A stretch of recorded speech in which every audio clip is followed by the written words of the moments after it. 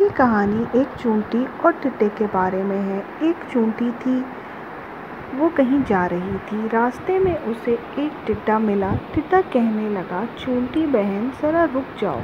चूंटी रुक गई, पूछने लगी, क्या बात है? टिड्डे ने कहा, मीठी मीठी हवा चल रही है। आओ, बाग में चलकर खेलें।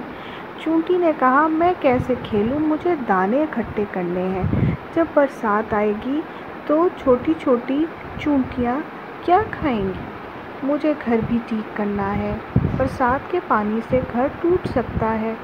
टिड्डे ने कहा, हम तो खेलते हैं जी। एक दिन बादल आ गए। बारिश होने लगी। टिड्डा भीगता हुआ आया। चूंटी का दरवाज़ा खटखटा कर कहने लगा, चूंटी बहन, मुझे भी अपने घर में थोड़ी सी जगह दे दो। मैं पूरी तरह भीग गया हूँ। जब तक बारिश रहेगी, इस वक्त तक यहीं रहूँगा, फिर चला जाऊँगा। चूंटी बोली भाई टिड्डे, तुमने सारा साल काम नहीं किया, तुमने अपना घर नहीं बनाया और मुश्किल वक्त के लिए कुछ अनाज भी जमा करके नहीं रखा, जो मैं तुम्हारी कोई मदद नहीं कर सकती।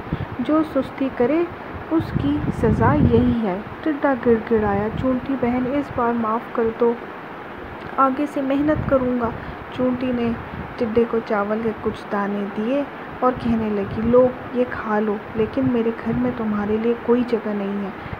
रोती शक्ल लिए हुए चला गया।